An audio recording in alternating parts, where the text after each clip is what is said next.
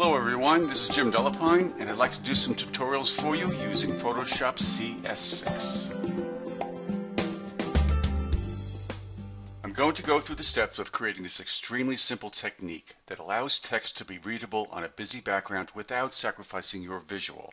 So I'm going to bring up my palettes here and show you what we're talking about. It's simply a matter of applying some layer styles to a layer that we'll set up. I'm going to zoom in and show you what this looks like up close. This is what we have here. So it's a very interesting technique. And I've applied certain color overlays to this and some layer styles that helps this text in its readability and also allows the image to show through in the background. So we're going to start fresh. I'm going to delete my layers palette and start out with a simple text layer that I've created using Arial. We're going to scale this up and maximize this. I'm going to use my free transform tool, holding down the shift and the alt key so it scales out from the center. That looks fine for the word country.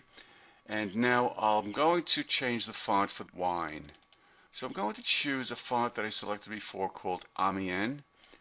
And I'm going to increase the scale of that by simply going to my character palette and in the area that you would increase your point size, you can simply scrub that icon to the left or right to increase or decrease your font size.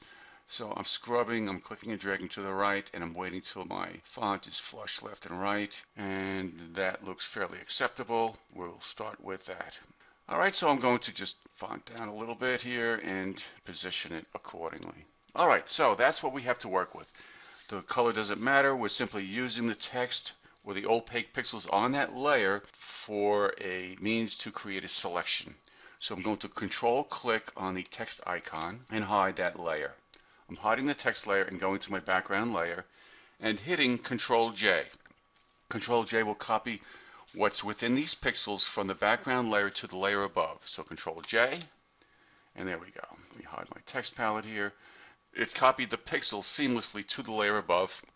And if I hide my background layer, you can see here what the effect is. Okay, so now it's a matter of double clicking on layer one, and I'm going to apply some layer styles. I'm going to select bevel and emboss and you can immediately see a result here. So with the bevel and emboss name active, I'm going to select outer bevel and the bevel will now appear on the outside of the current selection of opaque pixels. And you will get this kind of effect using the outer bevel and I'll leave all the default settings here and I'm going to also select stroke. Okay, with the stroke option selected, the default color for the stroke is black. I'm going to click on the color window and select white. Okay, I'll hit OK to that. And I'm going to decrease the size from 3 pixels to a 1 pixel thick stroke. And the next step is I want to create a drop shadow, which will help in its readability. I'll accept the default for that. And I'm also going to apply a color overlay. Now the default color for color overlay is red, which we can easily change.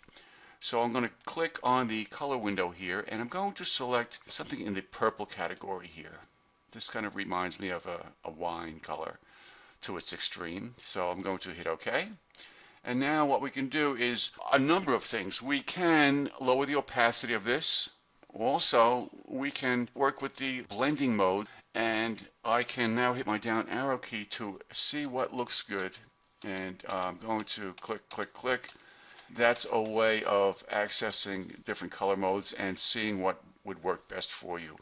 Going to select color I'm going to hit OK.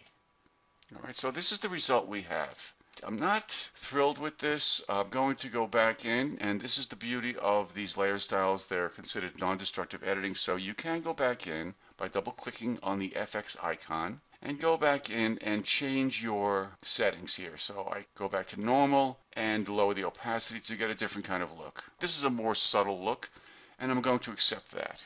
You can see here that the result is very tasteful this would be, I think, quite appropriate for an annual report. But you also have many options in the layer styles dialog box to choose from, so I invite you to explore with that. I hope you got some value from this, and I'll speak to you guys. Take care.